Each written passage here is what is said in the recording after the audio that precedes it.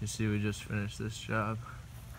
Uh, we got multi-slate tile panels with a tumbled peacock slate border stone or uh, border tile. Uh, we just washed the stone so it's kind of dark or it's a little bit dark darker right now but it will dry lighter